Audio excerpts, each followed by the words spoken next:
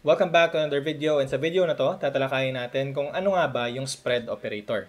So to simplify things, yung spread operator is ginagamit siya sa mga iterables. So ano yung example ng mga iterables natin sa JavaScript? So we have object and array. So ang ginagawa ng spread operator is ine-expand niya yung values sa loob ng mga iterables na yon. So let's see this one in action. First, ang syntax ng pag-spread is tatlong dots. So, dot, dot, dot. And then, yung iterable mo. So, it can be your person object or your fruits array, no? It can be that way. So, itry natin mag-declare ng variable. So, for example, you will have your const um, body, okay? So, we'll have our head. And, for example, our knees. Okay, meron ka ng ganyan. Meron ka ng um, body array. So what if gusto mo ng complete? So const complete body. No? And gusto mo na i-copy yung body parts na nasa body array natin dito sa bago nating array. So paano natin gagawin yon? So gagamitin natin ang spread operator sa pag-copy ng mga values. So we will have, for example, toes and then yung shoulder. So gamit yung spread operator, dot, dot, dot, and then yung iterable natin, which is yung body. So, save natin and then check natin sa console. Log complete body. Okay? And then run node index.js.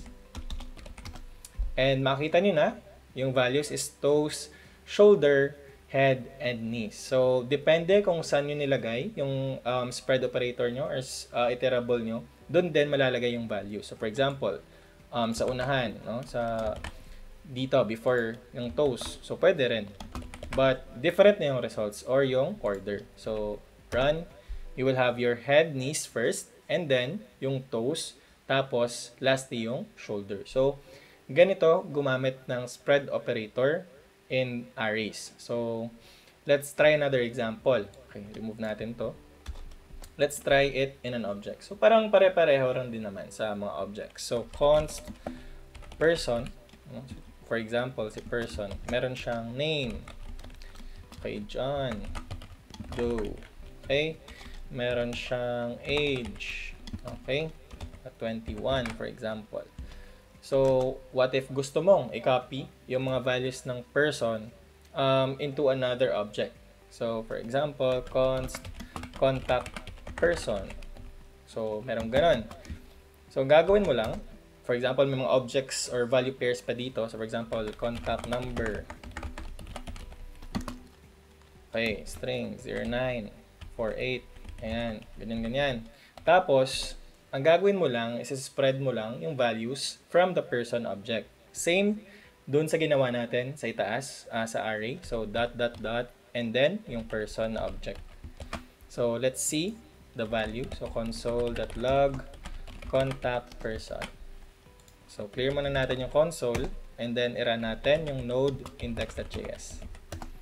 And then makita niyo na, meron ka ng contact number, my name, and then yung age. So successful yung pag-spread mo or pag-copy mo ng mga values from this person object to contact person.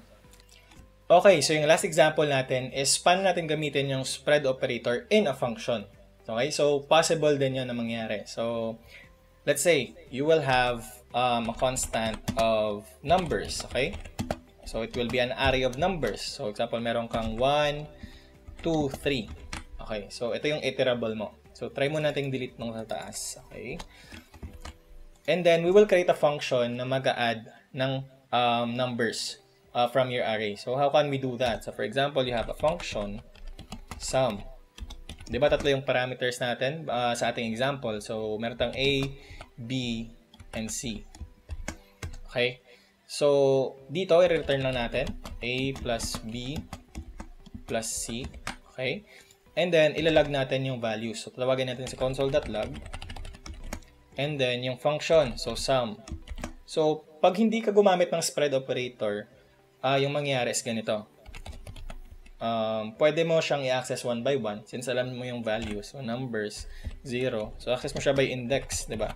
Numbers 1 or numbers 3. So, pag nakita mo na kasi, na tatlo yung um, value sa array mo. So, gagana rin naman to. So, node index.js So, NAN. So, bakit naging NAN yung sagot natin? Kasi, wala yung number 3. Dapat number 2 to. okay? So, if nakatch nyo yun, good. So, ayan, may number 6 yung sagot. So, 1 plus 2 is 3. So, 3 plus 3 is 6. And there is another way or much faster way to do this. You can use the spread operator here. Okay. Dot, dot, dot, numbers. Okay. So, run. You will have the same answer. So, that is how you use a spread operator as a parameter sa function natin. So, I hope may natutunan kayo. And sa next videos natin, pag-usapan pa natin yung mga dapat yung matutunan uh, before moving to React. Maraming salamat.